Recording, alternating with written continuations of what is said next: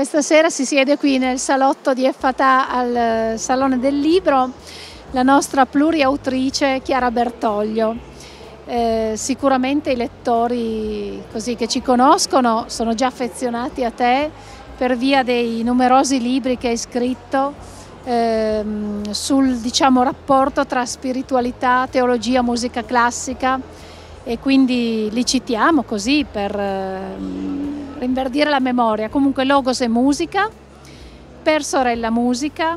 l'amore sa attendere, musica maschere viandanti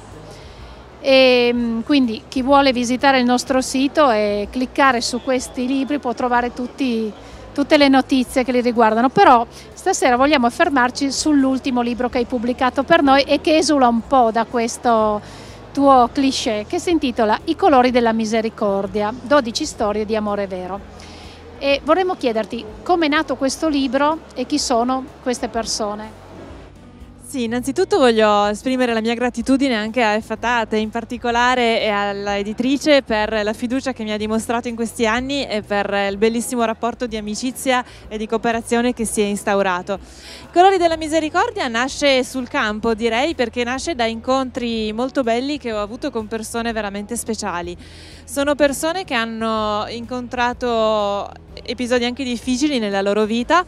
ma li hanno saputi vivere in maniera positiva, con speranza, con amore, con gioia e eh, trasmettendo a chiunque le incontrasse un messaggio solare, positivo. Io stessa sono uscita molto arricchita da questi incontri e ho pensato quindi di condividere questo arricchimento con chi eh, ha voglia di leggere questo libro. Sono persone normali eh, che rifuggono dall'idea di diventare dei santini, persone molto semplici con vite di famiglia, vite normali quotidiane in cui c'è qualcosa di speciale che può essere il modo in cui vivono per esempio una forma di disabilità, può essere il modo in cui accolgono la vita anche se eh, si presenta in maniera un po' imprevista, un po' difficile, un po' eh, problematica possono essere persone che trovano modi nuovi, diversi, alternativi per vivere la generosità, eh, l'accoglienza dell'altro, la vicinanza alle sofferenze delle altre persone, ma sempre con un sorriso che è quello che vorrei a mia volta poter trasmettere ai lettori. Bene, e sappiamo che mm, il sorriso tu eh, lo, lo trasmetti anche facendo tantissimo volontariato con i doni che hai ricevuto. Tu hai questi doni meravigliosi di saper amare la musica, di suonare magnificamente il pianoforte e anche eh, di saper eh, presentare la musica classica anche quando suoni durante i concerti con parole chiare, di avvicinare le persone, di far conoscere appunto gli autori che suoni. Ma poi sappiamo che ehm, credi molto nel fatto che la bellezza della musica possa aiutare le persone che soffrono e quindi che molte volte porti la musica, porti la tua arte all'interno degli ospedali e anche delle carceri. Se vuoi raccontarci qualche episodio di questa tua attività, grazie. Con piacere perché eh, effettivamente sono realtà che danno molto senso alla mia vita perché a volte quando si è solo in una sala da concerto si perde un po' il, il, senso anche sociale di quello che si sta facendo, che ovviamente vale sia per gli ascoltatori dei concerti tradizionali sia per quelli un po' speciali, però nei contesti un po' speciali questo risalta ancora di più e ci fa sentire l'importanza e la bellezza della nostra missione.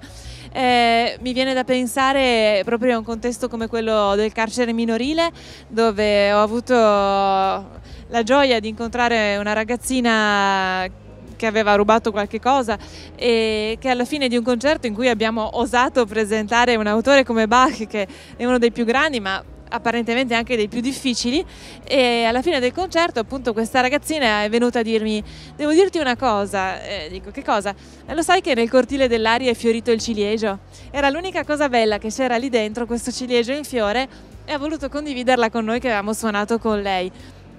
oppure delle persone che in reparti anche problematici degli ospedali vengono alla fine a dirti ma quest'ora di musica è stata utile come una chemioterapia però senza gli effetti collaterali della chemio ovviamente a modo suo no? però è un modo molto immediato molto diretto per entrare a contatto con il cuore delle persone e per offrire quello che abbiamo ricevuto a nostra volta senza imporre niente, perché poi ognuno nella musica trova quello forse quello che cerca, no?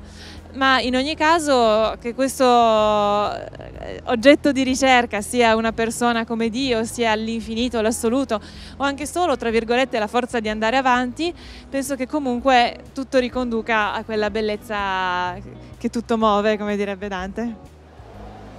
Bene, ancora una piccola domanda perché sappiamo che tu continui a studiare, ad approfondire tante tematiche, quindi se ci racconti un po' quello che stai così sviscerando in questo periodo. Eh, beh, l'ultima follia è stata iscrivermi a un master in teologia all'Università di Nottingham, dove mi trovo benissimo perché è un contesto molto ecumenico, molto aperto e molto serio, in cui si riesce veramente a imparare tantissimo.